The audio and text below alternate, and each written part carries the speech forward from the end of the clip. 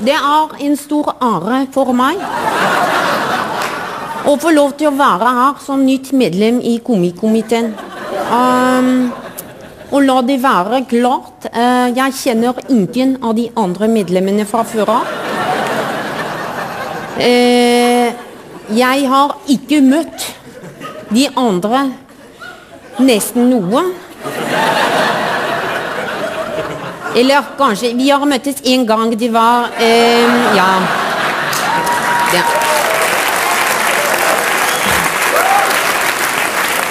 Vi, vi har møttes, det var i bursdagsselskap til Bakke, Bak, Øystein Bakke.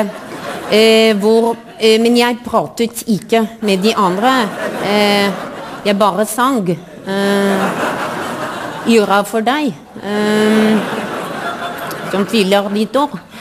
Eh, men det var akkurat som det var ikke bursdag. For meg det føltes mer som et slags møte. Eh, ja, det gjorde det. ja. eh, et, et slags møte med litt mer kake enn vanlig. Og noen flere ballonger. Og smellbongbonger. Uansett, men la meg presisere, jeg har ellers ikke omgått sosialt uh, med no, Eller jo, en gang. Um,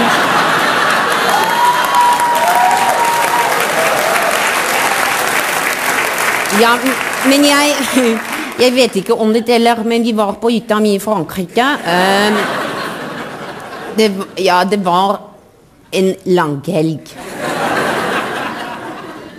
Kanskje tre uker. Mulig det var fire. Uansett.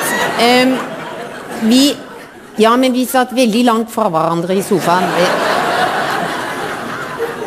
I hvert fall til frokosten.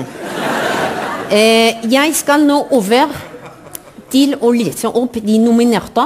Uh, de har jeg på en lapp i denne mappen, uh, som jeg har med meg på jobb jeg har, hvis jeg har jobb.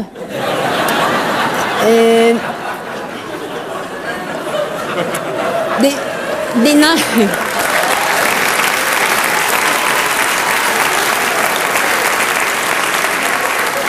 um, Uh, uh, den er veldig enkelt innredet. Det er, uh, den består kun av Det er en blyant, en gyllepenn, en Post-It-lapp.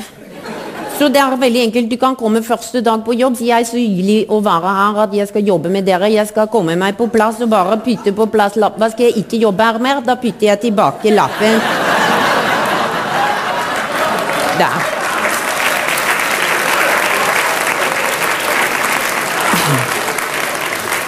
Da vi, eller da vi var i Frankrike, jeg kalte det manuelt kontor. Da lå de andre. Det er humor. Eh,